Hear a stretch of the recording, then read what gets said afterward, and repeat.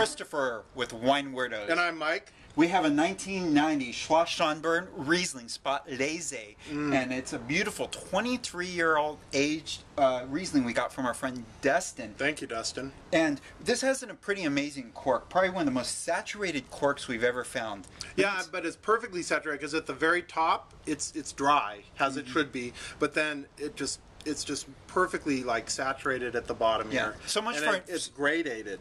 Absolutely. So let- let's not nerd out too much on the cork. We're we're we're, we're getting into something bigger It's here. the too. Color is amazing and the glass coating. Yeah.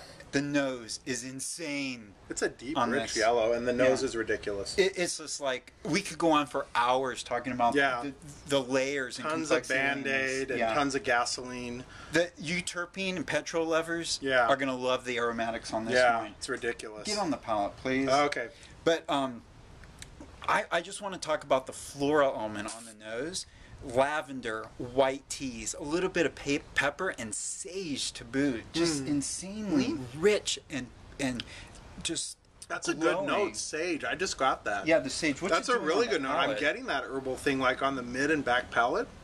It's got tons of like uh, floral stuff going on. It's got Mm. tons of pineapple, but it has like a plastic element, which is just fantastic. It has like a uh, gasoline element, which is just, I mean, you would know right away this is German Riesling and that it's been in the bottle for a while. Absolutely, it's, It's it, gorgeous. This is like Riesling 101 to me. Every every positive note you, the the terpene, the petrol hounds, Oh, man. the tropical fruit hounds, The just tart apple on the finish that just goes and oh, the goes green- for 30 to 40 seconds. the granny green apple, Man. everything everything Oh, that man. Riesling lovers appreciate Oh, are present and and in dollops in it's this preposterous in this that this is like a 20 to 25 dollar bottle. This is i'm gonna go figure out where this came from yeah. Are you getting that back palate? yeah i'm getting Oh the tart apple going for days and now there's like layers unfolding.